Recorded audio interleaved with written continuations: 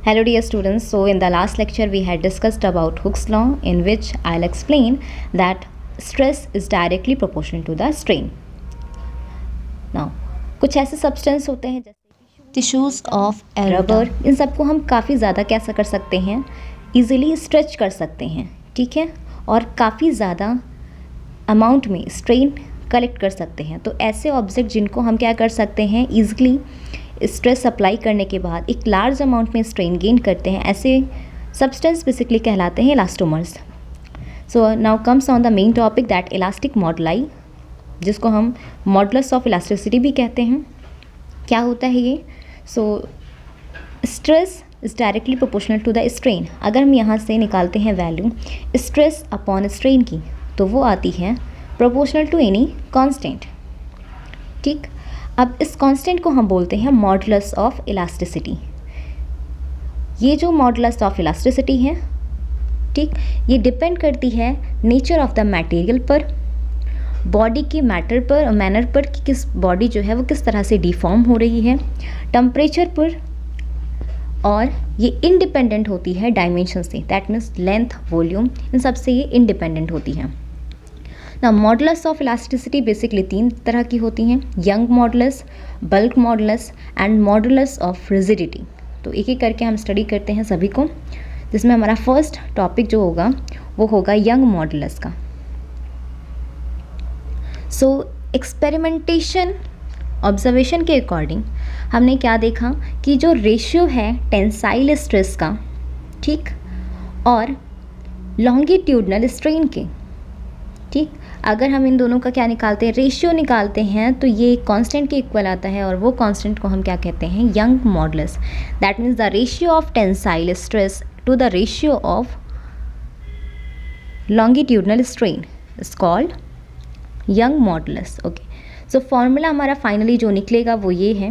y is equals to F divide by A into L divided by delta L that means आपका यहाँ पर हो जाएगा force per unit area divided by change in length upon original length.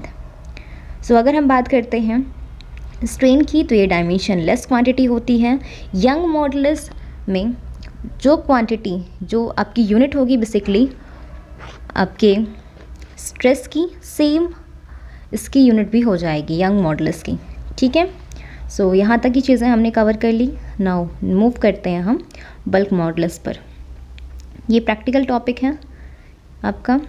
ठीक है? इससे पहले का जो टॉपिक था determine of Young modulus of the material of the wire तो ये हम प्रैक्टिकल वे में ही सीखेंगे. नाउ नेक्स्ट टॉपिक हमारा है बल्क मॉडल्स ठीक है?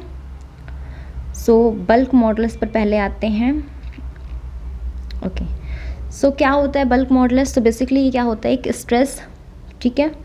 अगर आप किसी हाइड्रोलिक मशीन से किसी बेसिकली स्ट्रेस अप्लाई करते हो करस्पॉन्डिंग आपको स्ट्रेन मिलता है तो इसी को आपको क्या कहते हैं? Bulk modulus that means the ratio of stress to the strain is known as bulk modulus अब ये फॉर्मूला अगर हम देखते हैं, इसको रिप्रेजेंट कैसे करते हैं तो बी से रिप्रेजेंट करते हैं बी इज़ इक्वल्स टू हो जाएगा minus P delta V by V ठीक?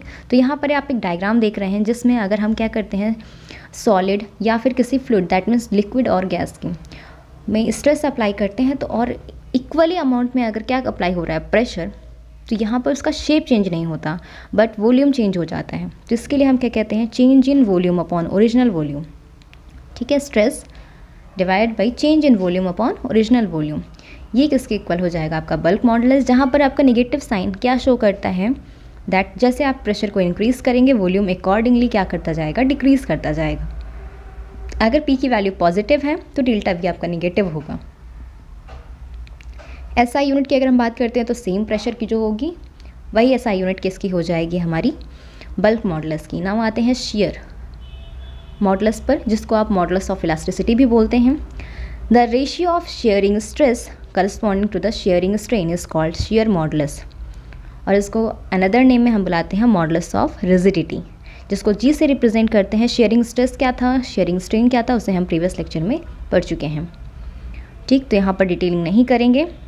Now S I unit of shear modulus in newton क्या होती है? सेम जो हमारी प्रेशर की यूनिट हो जाएगी, क्योंकि यहाँ पर हम जो चेंज इन लेंथ ले रहे हैं अपॉन ओरिजिनल लेंथ दोनों के लिए डायमेंशन सेम हो जाती है। तो शेयर मॉडल्स के लिए वही यूनिट हो जाएगी जो यूनिट हमारी हो जाती है स्ट्रेस के लिए दैट मीन्स प्रेशर के लिए।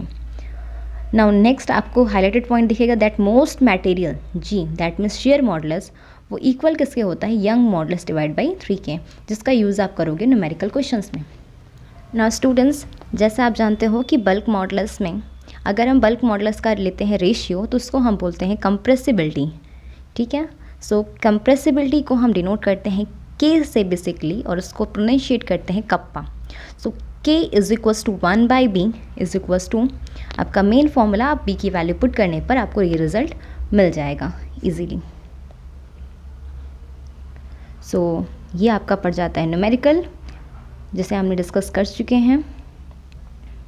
नेक्स्ट टॉपिक जो है आपका elastic potential energy in stretched wire इसे हम नेक्स्ट वीडियो में देखेंगे, वो वीडियो हमारी लास्ट वीडियो होगी इस कंप्लीट इस चैप्टर को कंप्लीट रिवीजन करने के लिए। Okay thank you